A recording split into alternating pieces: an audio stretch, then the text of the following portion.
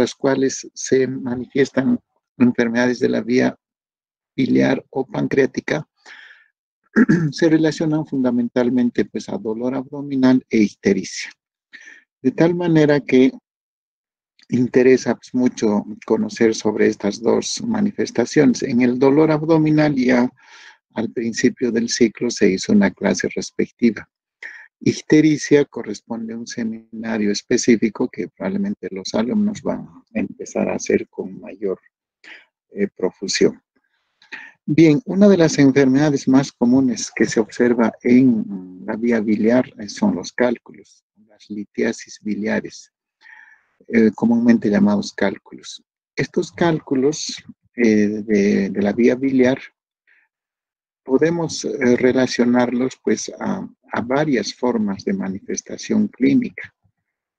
Es decir, generalmente los cálculos de la vía biliar pueden eh, presentarse bajo cualquiera de estas formas clínicas. Por lo tanto, eso es lo que hay que recordar siempre. Uno, es la forma asintomática. Quiere decir que personas portadoras de cálculos pueden no tener síntomas. Es el 80%, es una gran mayoría. De tal manera que uno encuentra cálculos biliares en base fundamentalmente a exámenes de imágenes, una ecografía realizada por cualquier otro motivo. Entonces, eh, esto es lo común. Entonces podemos recordar uno, la forma clínica, o mejor dicho, cómo se manifiesta. Los cálculos biliares básicamente están relacionados a lo que es eh, la forma asintomática. Eh, las formas sintomáticas, que es el 20%, están mm, fundamentalmente relacionadas a cuatro tipos de manifestación clínica. Eh, una de ellas es el dolor, o sea, el dolor abdominal cólico.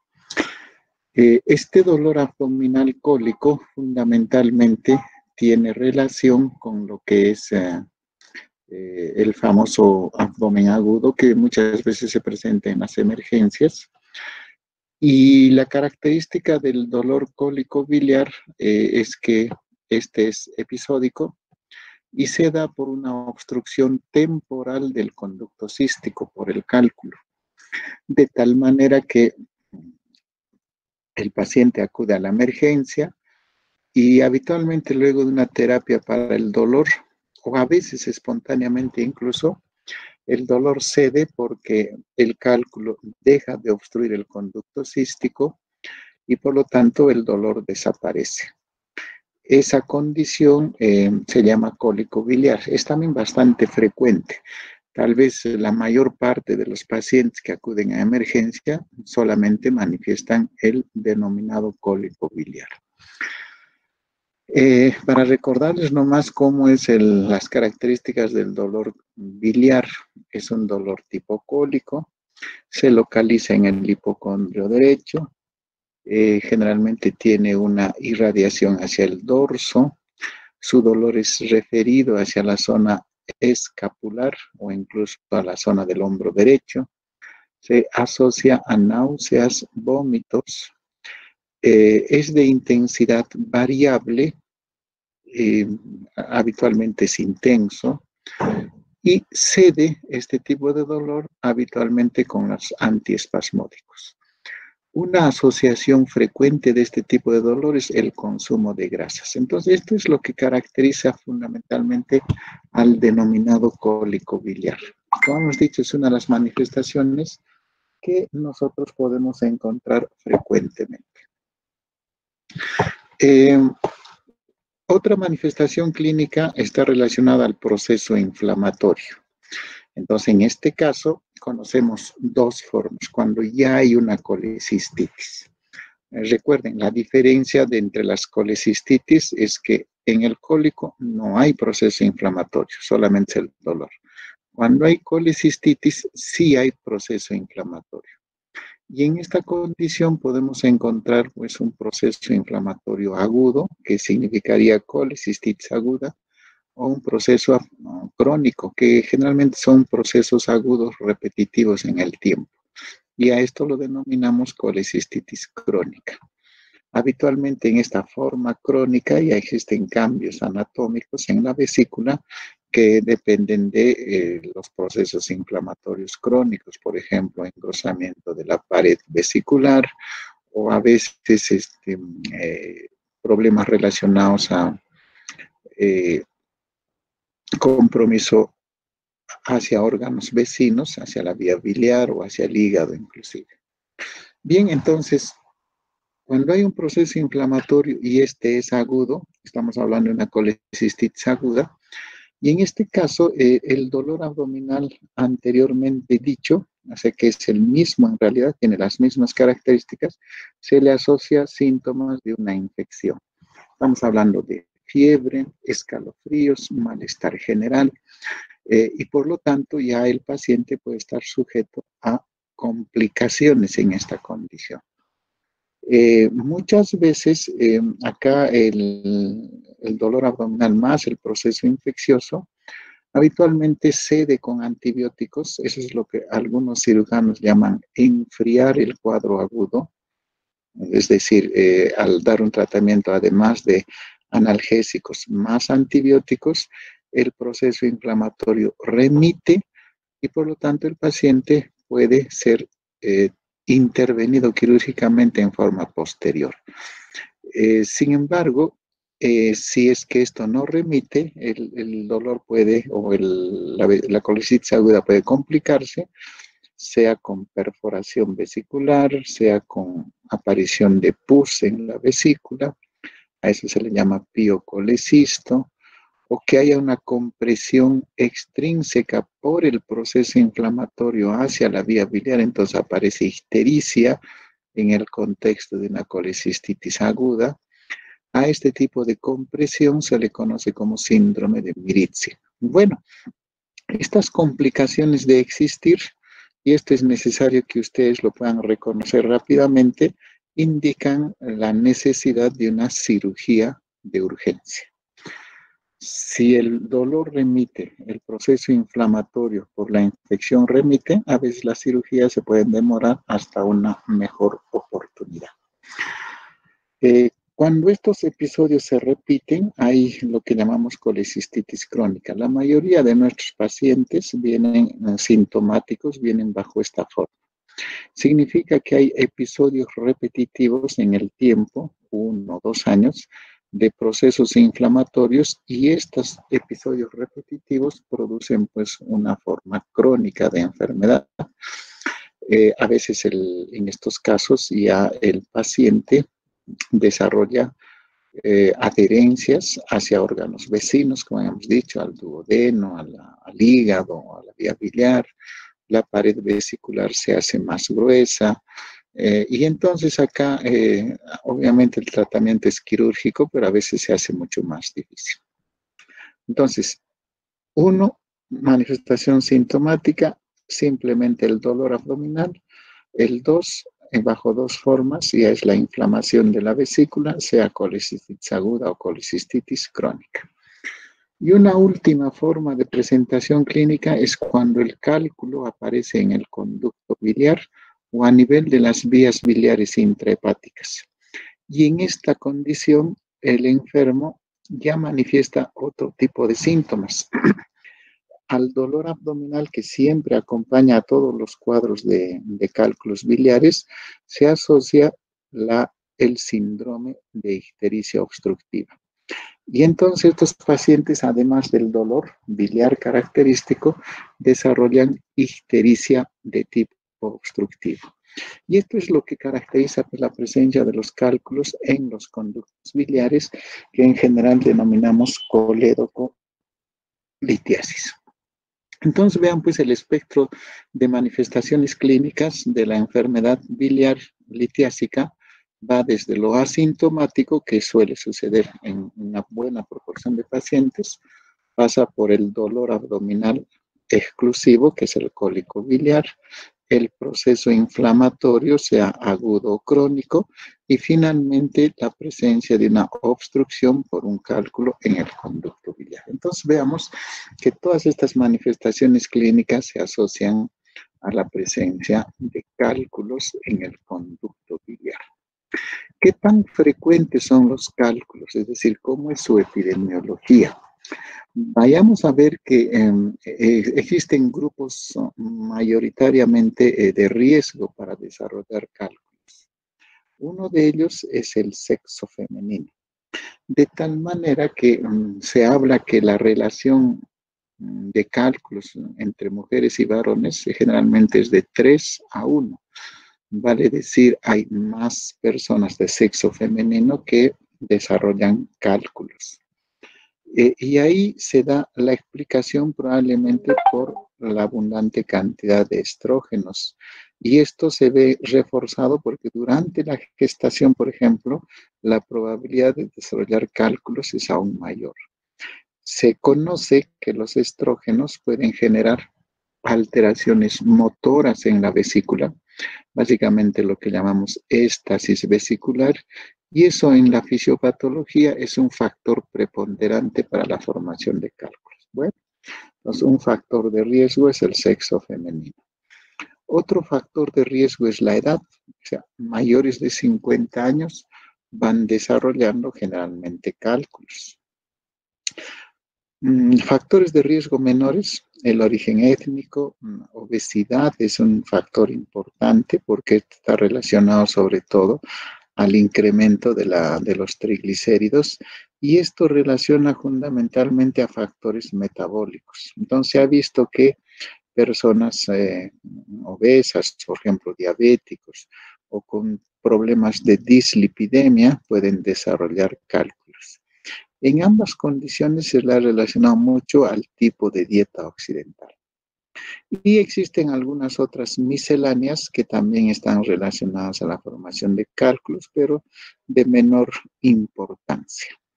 Eh, estos son los dos más importantes y esto es lo que hay que tomar en consideración.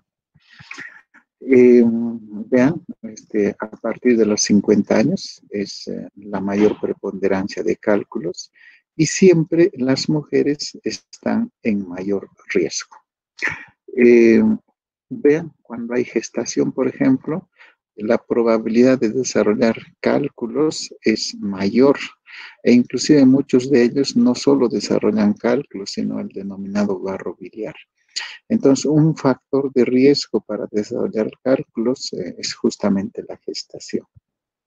Eh, eh, les había dicho al principio que la razón por la cual las gestantes y el sexo femenino en general tienen mayor predisposición de cálculos es por los estrógenos. Y entonces, eh, estudios que hayan probado los niveles altos de estrógenos, por ejemplo, cuando una persona toma anticonceptivos orales, el factor de riesgo, fíjense, aumenta notablemente. Entonces, definitivamente eh, los estrógenos son un factor importante.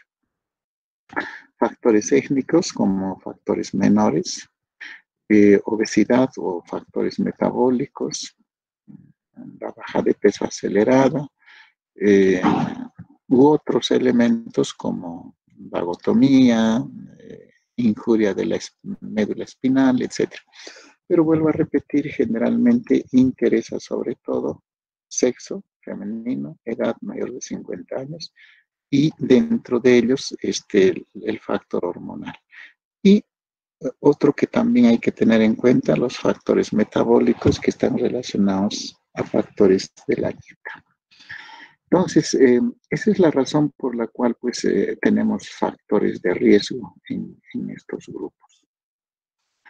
Eh, de tal manera que em, cuando uno habla de fisiopatología es necesario clasificar los cálculos. Veamos que hay diferentes formas de cálculos, sean estos de colesterol, que dicho sea de paso son los mayoritarios, nuestra población más, con más o menos que se calcula que tiene 80% de prevalencia en relación a los cálculos de colesterol. Y el segundo grupo son los cálculos pigmentarios 20%, que por el color toman dos, dos formas de clasificación dependiendo del color que toman. Vean que cada tipo de cálculo o cada forma de cálculo tiene una matriz diferencial. Los cálculos de colesterol, la matriz de formación de cálculos son los cristales de colesterol. Entonces, esto es un factor sumamente importante en la formación de cálculos. Por ahí el nombre. Tanto así que las personas que desarrollan cálculos de colesterol, al tener elevados niveles de, de colesterol en las sales biliares, es lo que uno denomina bilis litogénica. Entonces, veamos, para la formación de cálculos de colesterol, fundamental eh, la presencia de los cristales de colesterol. Para los otros cálculos, eh, generalmente para los oh, pigmentarios, eh, la bilirrubina o las sales de bilirrubinato son importantes. La diferencia tal vez entre los dos, porque es, muy parecido, en ambos casos hay elevados niveles de bilirrubina no conjugada o bilirrubinato, pero generalmente es en los pardos eh, la asociación a sales de calcio que no se encuentra en los cálculos negros es la diferencia. De tal manera que em, en su composición entonces podemos resumir que los cálculos de colesterol, como su nombre lo indica, están fundamentalmente relacionados a cristales de colesterol, mientras que los cálculos pigmentarios a eh, eh, bilirrubinato. La diferencia entre los dos es que eh, los cálculos pardo tienen sales de calcio, o sea, es el bilirrubinato de calcio, mientras que los negros no, son solamente polímeros de bilirrubina. Entonces, definitivamente hay diferencias en su formación fisiopatológica. esos son los cálculos, la matriz, la estructura de estos cálculos. Y generalmente eh, cada uno de estos cálculos tiene preferencialmente una distribución. Fíjense que la mayoría de los cálculos de colesterol, casi la totalidad, se forman en la vesícula, al igual que los cálculos pigmentarios negros. En tanto, el cálculo pardo generalmente eh, se forma más en los conductos biliares. no estamos hablando de que esta sea una localización exclusiva, es la mayor preponderancia. Los, de, eh, los cálculos que se forman en la vesícula mayoritariamente son de colesterol y eventualmente cálculos pigmentarios negros, pero mayoritariamente de colesterol. En cambio, los cálculos que se presentan en los conductos biliares mayoritariamente se localizan o son cálculos pigmentarios pardos. Y fíjense pues las diferencias, ¿no? El de colesterol obviamente eh, tiene mayor preponderancia a los, a los cristales de colesterol, eh, mientras que los negros y los pigmentarios, ya habíamos dicho, ¿no? Acá los negros son polímeros de bilirrubina, eh, mientras que los pigmentarios pardos básicamente se asocian a bilirrubinato de calcio generalmente. Eh, entonces, eh, la, la preponderancia de estas condiciones es la gran mayoría, más o menos el 80% de las de los cálculos en nuestra población son de tipo colesterol. Eh, ¿Por qué se presentan estos cálculos de colesterol? Esta es una diapositiva que nos ayuda más o menos a definir cuál es la fisiopatología. Generalmente el cálculo, que ya sabemos, eh, estaríamos viendo acá, eh, para formarse esta estructura de cálculo, eh, tiene que haber vesículas de colesterol o micelas de colesterol, las que unidas producen vesículas multilamelares.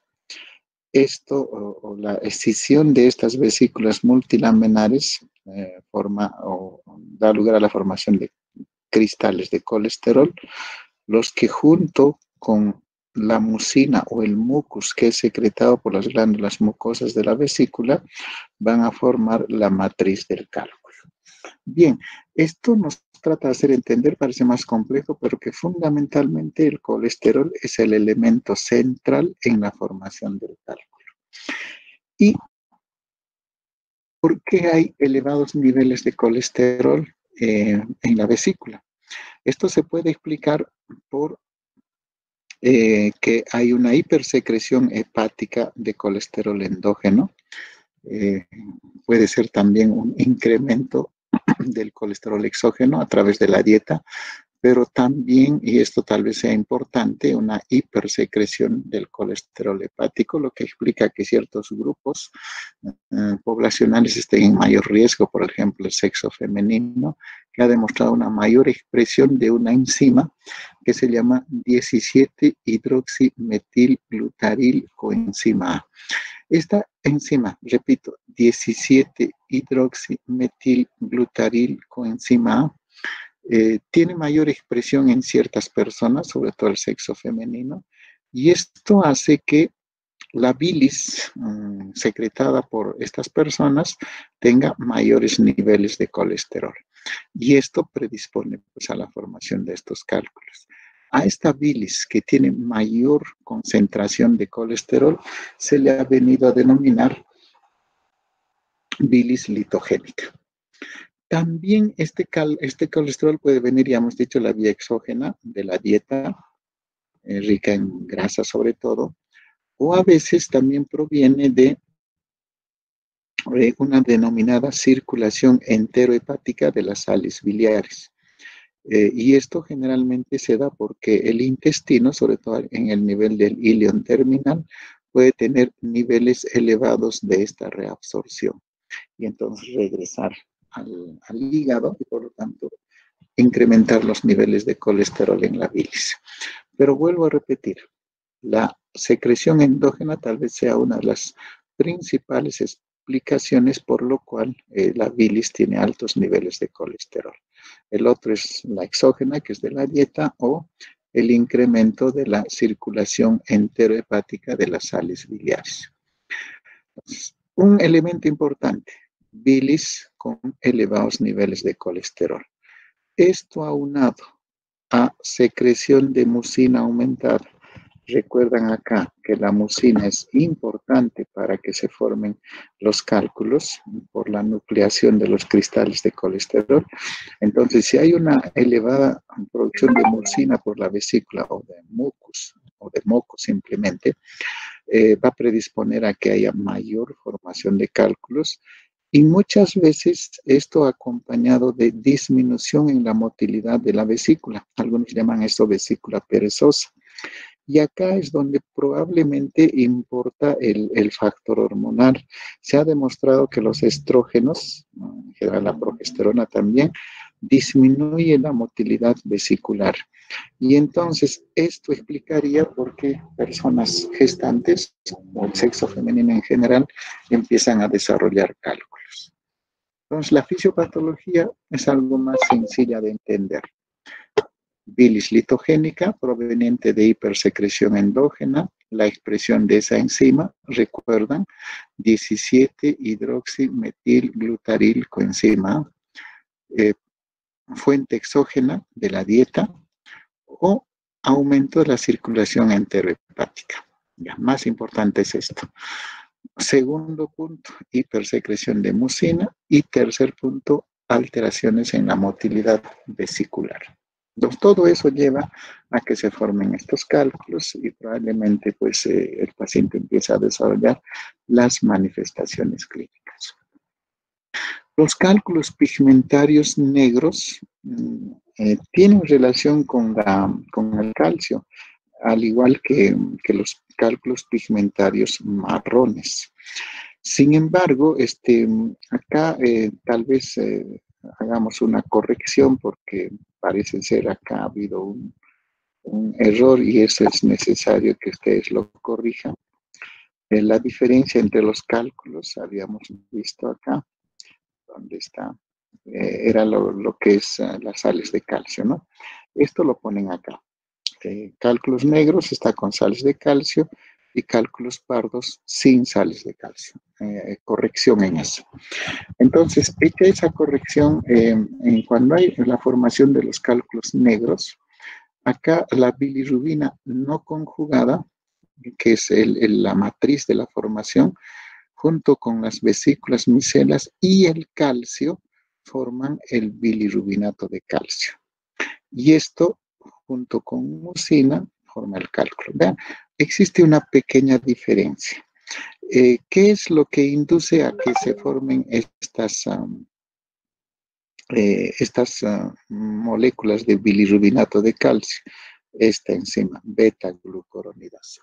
Quiere decir que las personas que desarrollan cálculos pigmentarios negros tienen elevados niveles de beta-glucuronidasa y esto estimula pues la formación de este tipo de cálculos pigmentarios negros. Entonces repetimos para no confundir, los cálculos pigmentarios negros están relacionados a la formación de bilirrubinato de calcio. Eh, ahí que se explica que eh, pacientes que tienen elevados niveles de bilirrubina, indirecta sobre todo, como enfermos con hepatitis crónica, con cirrosis hepática o enfermos que tienen eh, anemia eh, hemolítica, enfermedades justamente en donde se elevan los niveles de bilirrubina indirecta, tengan también predisposición a formar este tipo de cálculos. Nos volvemos a repetir, los cálculos pigmentarios negros eh, sí están relacionados al calcio, corregir lo que hayamos dicho al inicio. Eh, y eh, la expresión de esta enzima en la vesícula es la que induce a la formación de este tipo de cálculos, beta-glucuronidasa. personas en riesgo de desarrollar este tipo de cálculos son enfermos que tengan elevados niveles de bilirrubina, como ocurre en enfermos hepáticos, cirrosis hepática, por ejemplo, o enfermos portadores de anemia hemolítica. Eh, los cálculos marrones, que son los que se forman más en los conductos biliares, tienen relación en este caso también a bilirrubina indirecta, pero eh, la nucleación en estos casos se da por materiales de degradación bacteriana de los lípidos biliares que se encuentran en el conducto biliar. Y entonces esto, más las um, glucoproteínas bacterianas y productos de degradación a través del metabolismo bacteriano, son los que inducen la producción del el cálculo. Fíjense, que la mucina siempre es un elemento importante en los tres elementos. Entonces, al haber eh, necesidad de metabolismo bacteriano, es que se conoce que este tipo de cálculos que se forman generalmente están asociados a un proceso infeccioso. Bien, entonces volvemos a repetir para que no haya confusión los cálculos de colesterol, básicamente relacionados a una elevada o elevada concentración de colesterol y que puede ser de tres eh, vías, secreción endógena, exógena por la dieta o un incremento en la circulación enterohepática. A eso lo asocian la hipersecreción de mucina y la hipomotilidad vesicular. En los cálculos Mm, pigmentarios negros, tiene que ver esta enzima beta-glucuronidasa que tiene que ver con la desconjugación de la bilirrubina y acá sí participa pues la asociación con el calcio formando bilirrubinato de calcio. Y también vean, el gel de mucina es importante. Esto se da más en pacientes cirróticos o con anemia hemolítica. Y los pigmentarios pardos, nuevamente estamos acá, bilirrubina indirecta, pero ya el calcio no es un elemento importante, sino más elementos provenientes del metabolismo bacteriano, sean estas glicoproteínas o degradación de los lípidos biliares. Y estos son los que forman la matriz para la formación de cálculo. Eh, acá también algo de colesterol, algo de calcio, pero fundamentalmente la matriz es bilirrubina más productos bacterianos. Y nuevamente vemos gel de mucina, o sea, el mucus es un factor importante. Y esto, por lo tanto, el factor de riesgo para el desarrollo de estos cálculos fundamentalmente es una infección en la vía biliar. El cuadro clínico, ya lo hemos visto anteriormente, eh, tiene pues dos formas, asintomática o la sintomática, y la sintomática solo con dolor, cuando hay dolor más inflamación, aguda o crónica, y cuando el cálculo obstruye la vía biliar. Eh, para hacer el diagnóstico, en realidad nosotros disponemos pues de um, elementos sencillos de, diagnóstico. Una ecografía, por ejemplo, es fundamental para detectar el cálculo en la vesícula. Por acá es muy sencillo. Deja lo que llama la, la sombra acústica posterior. Y esa es una característica ecográfica del cálculo. La ecografía es sumamente sensible y específica para la detección de cálculos vesiculares. Tanto así que el método de elección para el diagnóstico de cálculo de vesículas es la ecografía. Estamos hablando de una sensibilidad y especificidad que supera el 95%. Espero que esos sean los resultados de los exámenes para ustedes. Entonces, eh, no hay mejor examen que la ecografía para la detección de cálculos vesiculares. Eh, sin embargo, si uno mm, requiere estudiar sobre todo cálculos en el conducto biliar, en el colédoco, la ecografía pierde sensibilidad, baja hasta el 50 o 70%, y ahí probablemente requerimos de otras pruebas de imágenes más específicas. Allí está la colangioresonancia o la colangiopancreato endoscópica.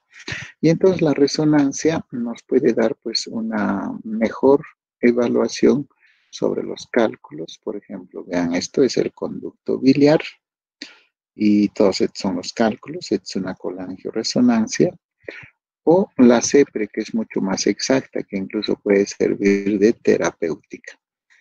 Eh, entonces, eh, evidentemente, eh, cuando uno intenta diagnosticar, la ecografía es esencial para los cálculos de la vesícula, pierde sensibilidad para los cálculos de colédoco, en cuyo caso recurrimos a otras formas, sobre todo la resonancia magnética. El diagnóstico diferencial se da con muchas enfermedades. A veces es difícil poder este, hacer la diferencia, pero la mayor parte de las veces sí es fácil. El tratamiento Acá surge una condición. Cuando es litiasis vesicular sintomática, sea colecistitis aguda, sea colecistitis crónica, el tratamiento es cirugía, es quirúrgico, o sea, ya no hay otra cosa más que hacer. Eh, eh, de tal manera que la cirugía ah, será ah, de urgencia o electiva dependiendo o no de la presencia de complicaciones. Entonces, si nosotros tenemos las formas clínicas mm, sintomáticas relacionadas al cólico biliar o a un proceso inflamatorio, sea agudo o crónico, en estas tres condiciones, la cirugía es el tratamiento de elección. Y si hay complicaciones, incluso esta cirugía es urgente. Eh, la forma de hacer cirugía obviamente eh, actual es la cirugía laparoscópica, la famosa colela. Y entonces esto es lo que se ha impuesto en el, en el mundo actualmente. Entonces hay que operar de todas maneras. Si la forma clínica es de presentación en el conducto biliar, estamos hablando de una histericia obstructiva, es decir, cuando hay cálculos en el conducto biliar, allí puede, eh, y de hecho la elección es la, ah, la de tal manera que uno, no, la colangiopancreatografía retrógrada endoscópica, entonces a través de estos instrumentales endoscópicos, nosotros podemos extraer el cálculo del conducto biliar. Pues allí la CEPRE es la terapia de elección, ya no es la cirugía. Eh, claro, definido qué es lo que vamos a hacer cuando uno encuentre cálculos sintomáticos, sea de la vesícula o del colédoco. El problema es cuando hay litiasis asintomática, es decir, uno ha detectado el cálculo solo en condiciones de, un examen de rutina y no tiene síntomas. Entonces acá hay una discrepancia en, uh, lo que es el, eh, el, tratamiento.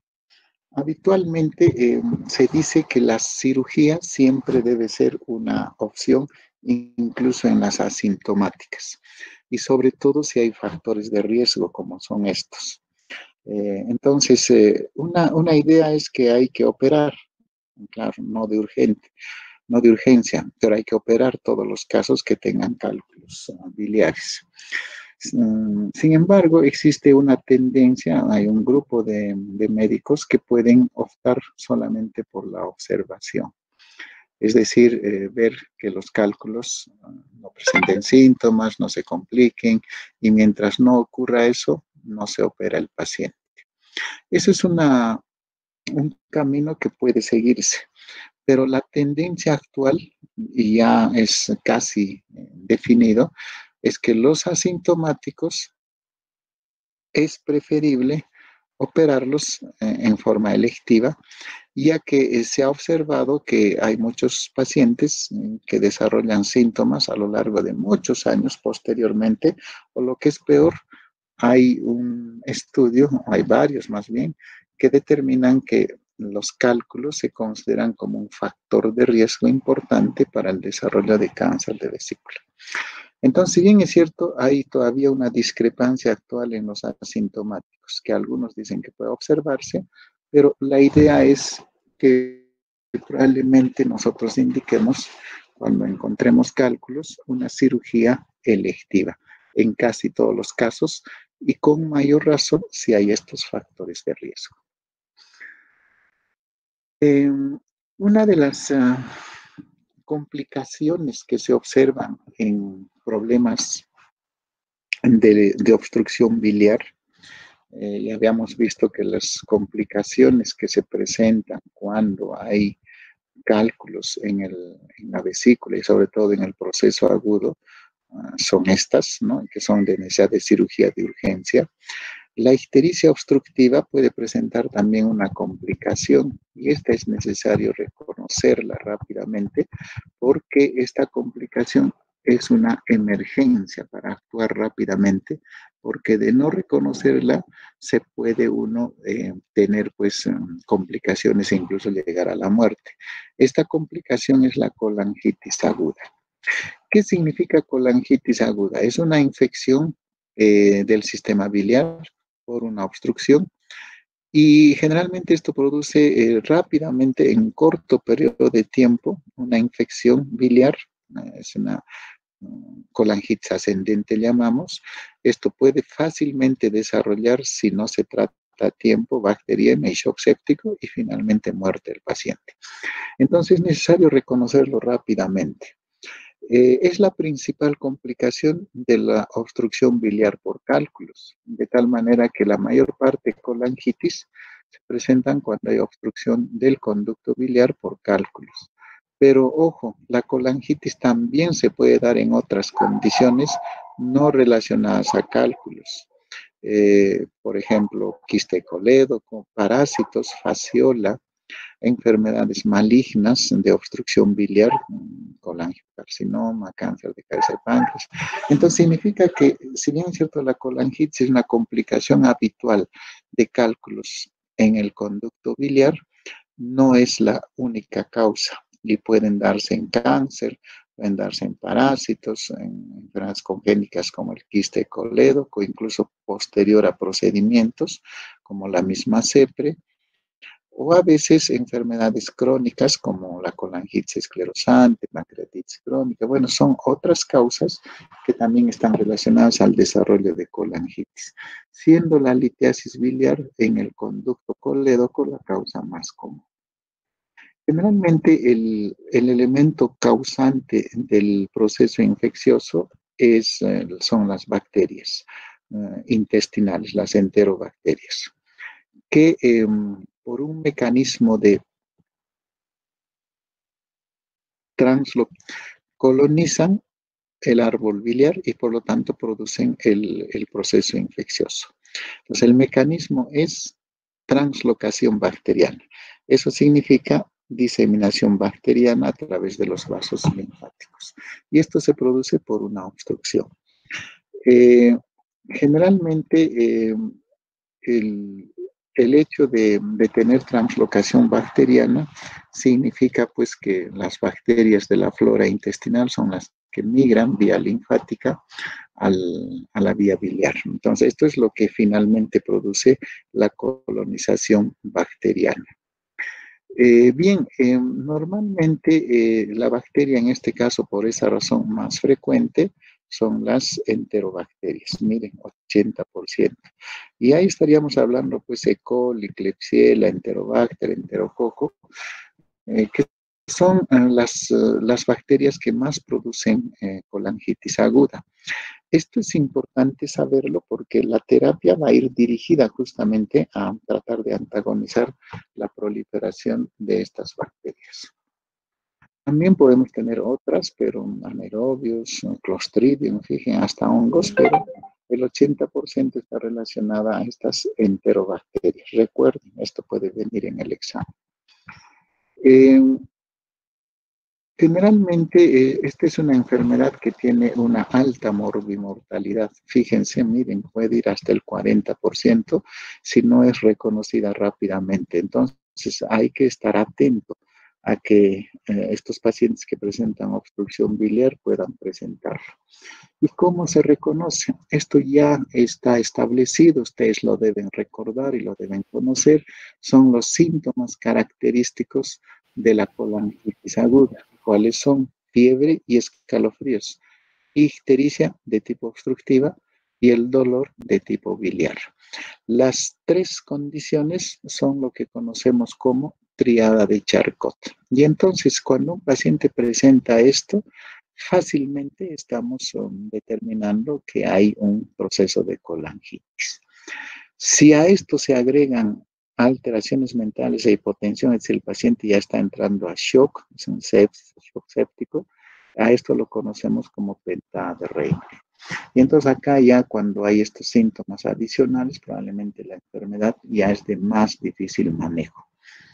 Eh, hay muchas eh, clasificaciones de colangitis aguda y esto nos determina pues la forma de tratar.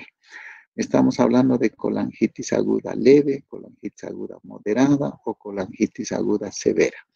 Y esto se basa fundamentalmente en la presencia de síntomas de disfunción orgánica o también síntomas de respuesta inflamatoria sistémica, del denominado SIRS o del síndrome de respuesta inflamatoria sistémica. Se dice leve cuando no hay manifestaciones eh, de compromiso de órganos, no hay manifestaciones de SIRS y probablemente solo encontramos estos síntomas. De tal manera que habitualmente ese es un tipo de colangitis aguda leve. La severa, perdón, la moderada son los mismos síntomas, hay signos de respuesta inflamatoria sistémica o incluso compromiso de otro órgano, que puede ser renal, cardíaco, etcétera, pero hay compromiso de órgano, eh, pero que revierte fácilmente al tratamiento antibiótico. Es decir, uno le, da la, antibiótico terapia respectiva y las manifestaciones remiten rápidamente. A esto se denomina colangitis aguda moderada. La severa es cuando hay manifestaciones, sobre todo de estas ya, pentada de reina, hay compromiso de órgano, hay síntomas del síndrome de respuesta inflamatoria sistémica, pero no revierte al tratamiento antibiótico. Y esos son los que pueden morir fácilmente. Entonces hay que tener cuidado en, estas, en clasificar bien a los pacientes. Leve, síntomas sin manifestaciones de SIRS o compromiso de órgano. Moderada, síntomas con manifestaciones de SIRS o compromiso de órgano, pero que revierten rápidamente, esto en 24 horas, al tratamiento antibiótico. Y severo a esas mismas manifestaciones, pero que no revierte. Y ahí va a ser necesario hacer otro tipo de intervención terapéutica. Entonces, el cuadro clínico a base de eso es importante. En el laboratorio hay que hacer pues em, todo lo que requiere un proceso infeccioso. Hay que hacer hemograma, hemoglobina, hematocrito, plaquetas, eh, dosar proteína C reactiva, ah, dosar velocidad de sedimentación globular, eh, hacer el perfil hepático. Recuerden que este es un problema obstructivo generalmente. Eh, entonces se basa en eso el diagnóstico de laboratorio. E imágenes, generalmente estamos hablando de una ecografía, o mejor aún una tomografía, o más aún una resonancia magnética, que son elementos importantes en el diagnóstico. E, en el laboratorio encontramos habitualmente leucocitosis más desviación izquierda, como todo proceso infeccioso, en el perfil hepático encontramos un patrón de colestasis, esto es algo importante. Eh, hemocultivo, fíjense, este, no tiene un buen rendimiento diagnóstico. Sí se puede el bilicultivo, pero es muchas veces difícil hacerlo, 20% a veces, entonces el rendimiento diagnóstico es muy bajo. La ecografía es fundamental, pero es mejor una tomografía o la resonancia, como le decía, que se constituye en el método de elección cuando uno sospecha este tipo de patología. Em, el tratamiento de una colangitis aguda es drenar la vía biliar y soporte antibiótico. Eh,